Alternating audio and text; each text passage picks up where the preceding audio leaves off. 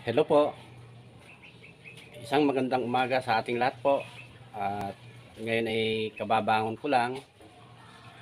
At tayo'y nasa ating kusina ngayon at nagkakape muna. Tayo po ay magkape. Kape po tayo. Hmm. Ngayong araw pong ito ay magpapahinga po ako sa paglalako. So, ang plano ko pong gawin ngayong araw ay maghihikwat po o mag-iimis ng mga basura dito sa bahay. Bali, liligpitin ko po lahat yung mga karton at yung mga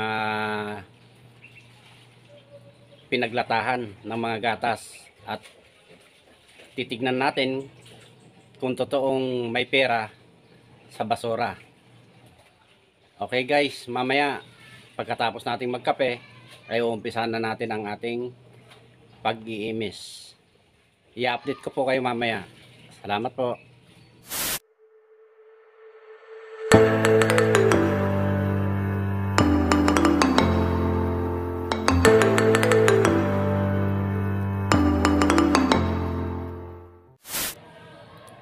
So guys, ito pasisilip ko lang sa inyo yung ating mga iaayos mamayang mga lata pagsasama-samahan natin. Ito po itong mga nasa sako pong blow.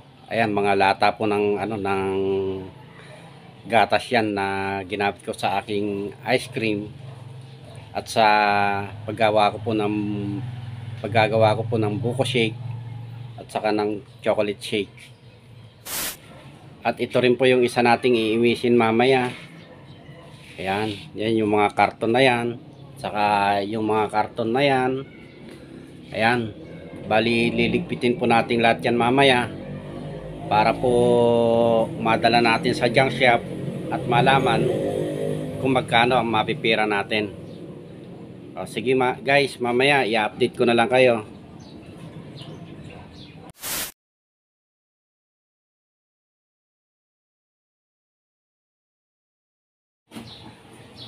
So ito, bali inaayos na ng mga anak ko yung mga karton.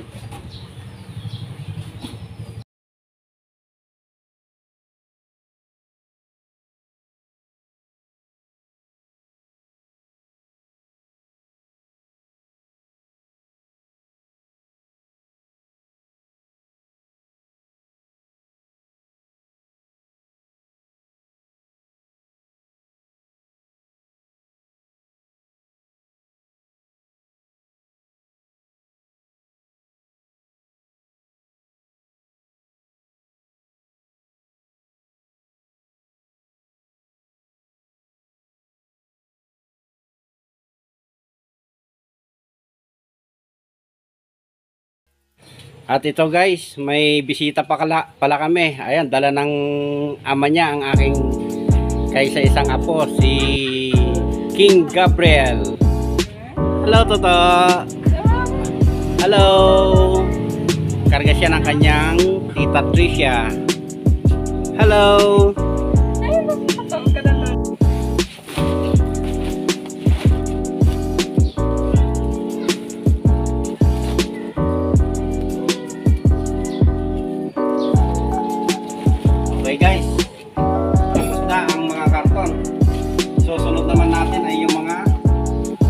Bote ng mga disposable na soft drinks. Ah, so guys, tapos na nating pagsama-samahin yung mga karton. Ngayon, dito naman tayo sa mga disposable na plastic bottle.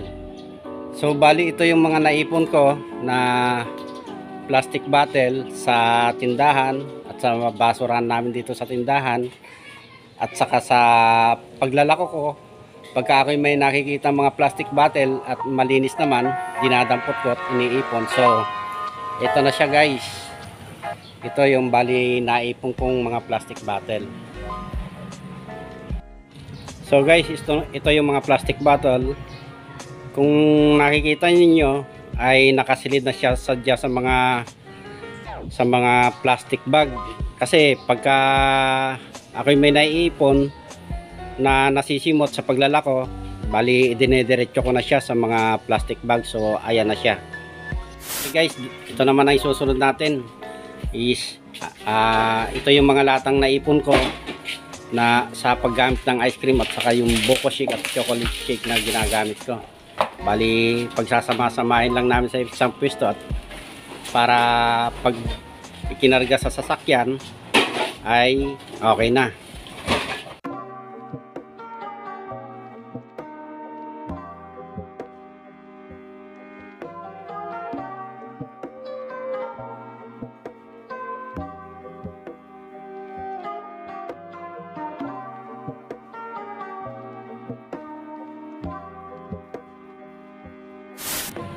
So guys, ito na po yung mga ano, yung mga kalakal nating naipon.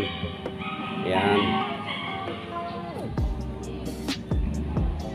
Ayan, mga plastic bottles, mga yero, mga bakal, lata ng mga gatas, at ito mga karton. So ito ay ready for ano, delivery na sa junk shop.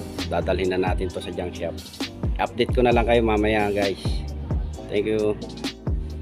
So guys ito magkakarga na kami sa tricycle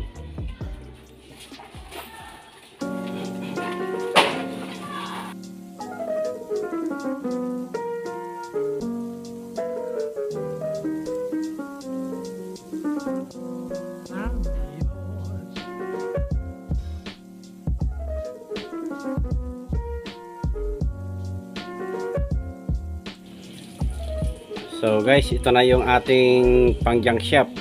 Ah, dadalhin na namin ito sa junk shop sa bayan. Ayan, ayan. Titingnan natin kung magkano natin may convert to sa pera. Salamat po. Update ko na lang kayo mamaya. So guys, ito na kami sa junk shop at nagpapakilo na kami ng mga kalakal. Update ko na lang kayo mamaya. So guys, nakauwi na tayo dito sa bahay galing sa pagdadala ng ating mga ginak na basura sa junk shop. So pakikita ko sa inyo guys kung magkano natin na-convert sa cash ang ating mga kalakal. So ito po yung ating naging kwenta sa ating pong mga kalakal o mga panapon na basura. Ah, ang ating pong mga kalakal ay umabot po ng 1,259 pesos. Pero ginawa na pong 1,260 ng ating kaibigang may-ari ng junk shop. So guys yan po ang isang patotoo na sa basura ay may pera.